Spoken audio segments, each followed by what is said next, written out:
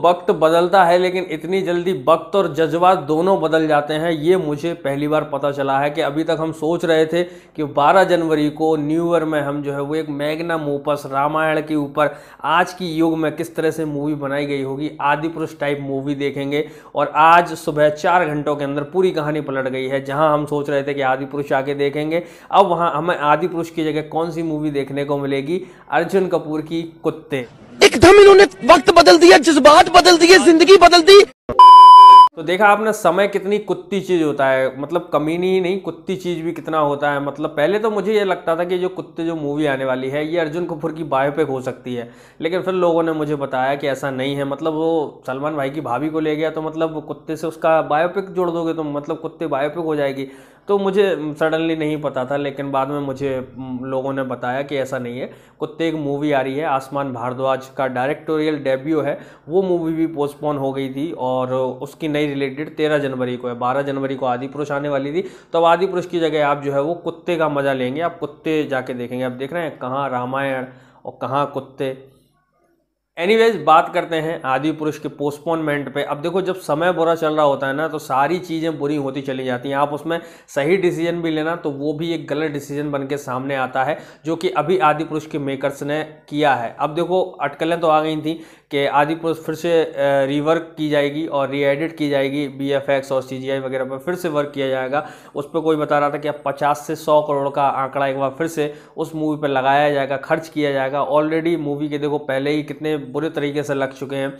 Teaser उन्होंने डाला। Already दो, तीन साल होल्ड पर रही तो वो जो इंटरेस्ट बढ़ रहा था, वो तो एक अलग आप रख लीजिए। ऊपर से पाँच छः सौ करोड़ ऑलरेडी इस मूवी का बजट था। अब फिर से रीशूट में जा रही है। सात महीने ऑलमोस्ट जो है वो इस मूवी को फिर से दिए जाएँगे। फिर से वो इंटरेस्ट बढ़ेगा। ऊपर से जो, फिर से सारा वर्क होगा, सौ, डेढ़ सौ करोड़।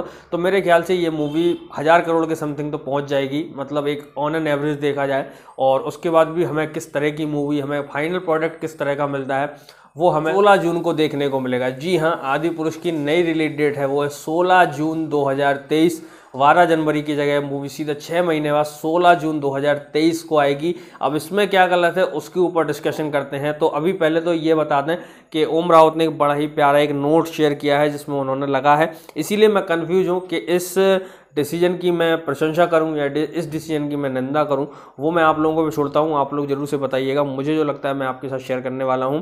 पहले तो एक जो नोट उन्होंने लिखा है, आदि पुरुष केवल एक फ़िल्म नहीं है। प्रभु श्री राम के प्रति भक्ति व हमारे गौरवशाली इतिहास और संस्कृति के प्रति हमारी प्रतिबद्धता का प्रतीक है। दर्शकों को एक अद्भुत अनुभव देने के लिए आदि पुरुष के निर्माण से जुड़े लोगों को थोड़ा अधिक समय देने की आवश्यकता है। आदि पुरुष अब जून 16 2023 को प्रदर्शित होगी। रघुकुल रीत सदा चली आई, प्राण जाए पर बचन न जाई। हम एक ऐसी फ़िल्म बनाने के लिए प्रतिबद्ध हैं जिस पर संपूर्ण भारत को गर्व होगा। इस राम काज में आपका सहयोग, प्रेम, आशीर्वाद हमें सदैव प्रेरित करता है, रहा है और करता रहेगा। ये उन्होंने एक नोट दिया है। अब देखो, फिर से सारी चीज़ें ज़ीरो से स्टार्ट होंगी। मतलब जो भी हाइप थी, सारी चीज़ें थी। फिर से ज़ीरो से इन्हें करना पड़ेगा। सारी चीज़ें, इतनी स्क्रीन्स पर हो रही थी रिलीज़ उतनी स्क्रीन्स पर हो रही थी। अभी नंबर ऑफ़ स्क्रीन्स काफ़ी ज़्यादा थी, बीस हज़ार प्लस स्क्रीन्स पर ये मूवी रिलीज़ हो रही थी। लेकिन इसकी जो नई रिलीज़ डेट है, वो कहीं ना कहीं खतरा बन सकती है। लोग बोल रहे थे, पठान और आदि पुरुष में दो हफ़्ते का गैप था, लेकिन लोगों ने अनऑफिशियली दोनों का क्लैश करवा दिया। और जब आदि पुरुष पोस्टपोन हुई तो लोगों ने बोला कि प्रभास डर गए, ये वो फलाना ढेकाना लेकिन अभी भी अगर देखा जाए तो अभी पठान से, यानी कि एस के से दो हफ़्ते पहले प्रभास आ रहे थे। जून में भी अगर देखें तो एस के दो हफ़्ते बाद प्रभास आ रहे हैं, यानी कि दो जून को उनकी जवान रिलीज़ होना है और जवान के दो हफ़्ते बाद, यानी कि 16 जून को आदि पुरुष आपको देखने को मिलेगी। यही नहीं यही नहीं, और सुनिए, इसके अलावा जून में जो मूवीज़ है, एक तो ये मूवी ऐसी है कि इसको मतलब एक सोलो रिलेटेड डिजर्व करती थी, जो कि उसे मिली है। लेकिन आसपास जितनी मूवी हैं, आप देखें, जवान आएगी उसके बाद उसी टाइम पे ड्रीम गर्ल टू भी प्लान की जा रही है। एक अजय देवगन और नीरज पांडे की टाइटल्ड ड्रामा है, उसकी भी अटकलें आ रही हैं कि वो भी जून में ही आएगी। और उसके अलावा एक और है, शायद से कोई मूवी जो सडनली मुझे याद नहीं आ रही है। इसके अलावा ये मूवी आईमैक्स में रिलीज़ होगी। आदि पुरुष बताया है कि आईमैक्स में रिलीज़ होगी। अब आईमैक्स के पॉइंट ऑफ़ व्यू से देखें तो हॉलीवुड मूवी की भी लाइन कुछ कम लंबी नहीं है। जून के अंदर स्पाइडरमैन वो भी आ रही है, तीन जून को शायद से समथिंग आ रही है। एक और हॉलीवुड की मूवी है, मुझे सडनली तो उसका नाम याद नहीं आ रहा, लेकिन है वो मूवी है छः या सात जून को वो आ रही है तो मतलब बहुत सारी बहुत सारी जद्दोजहद होनी है। अब इस बीच में एक ऐसी मूवी जो अपनी रिलीज़ डेट चेंज करके आ रही है, फिर से पूरा वर्क करके आ रही है, और इतनी आसपास बड़ी बड़ी फ़िल्में हैं, और ये एक मूवी आके कैसा अपना परचम लहरा पाएगी, कैसे अपना नाम बना पाएगी, ये एक बहुत बहुत सोचने लायक बात है, और बहुत डरने लायक बात भी है। पता नहीं कैसे इन लोगों ने रिलीज़ डेट चेंज की और यहाँ पे लाके इन्होंने जून तक वो रिलीज़ डेट क्यों कर दी? जब कितना अच्छा मौका था, तीस मार्च को रामनवमी है। मार्च, अप्रैल में आप आराम से मूवी रिलीज़ कर सकते थे। उस टाइम पे कुछ हल्ला गुल्ला नहीं था, लेकिन जून में जहाँ ये मूवी डाली गई है, बहुत ज़्यादा हैक्टिक शेड्यूल है, बहुत ज़्यादा सरदर्द है, बहुत सारा कॉन्टेंट आना है क्वालिटी कॉन्टेंट आना है, ये भी नहीं बोल सकते कि ऐसा उठा पटक वाला कंटेंट आ रहा हो। Quality content Jawan Dream Girl two Ajay Devgn की अनटाइटल्ड और स्पाइडरमैन बहुत सारा कंटेंट है, बहुत सारा। तो ये डिसीज़न कहाँ से सही है, कहाँ से गलत है, आप लोगों पर छोड़ता हूँ। आप लोग ज़रूर से बताएँ। मुझे सिर्फ़ एक इतनी उम्मीद लगती है कि अगर दोबारा से उस पर काम कर रहे हैं, ओम रावत ने ये डिसीज़न लिया है तो एक तो सबसे पहली बात, ऐसे डिसीज़न लेने के लिए गट्स होना चाहिए।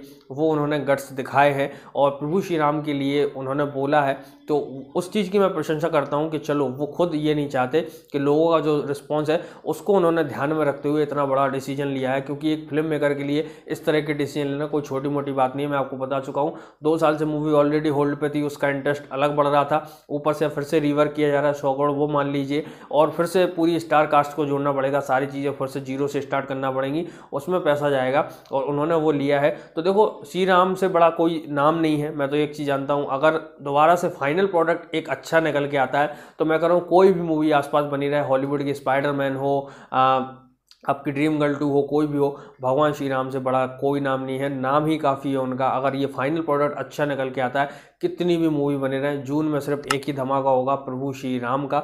आप लोगों की क्या राय है, हमें लिख कर ज़रूर बताएँ ऐसी ताज़ा अपडेट के लिए। हमारे चैनल को सब्सक्राइब करना ना भूलें। मिलते हैं आपसे बहुत जल्द और किसी ने वीडियो तक के लिए जय हिंद, वंदे मातरम।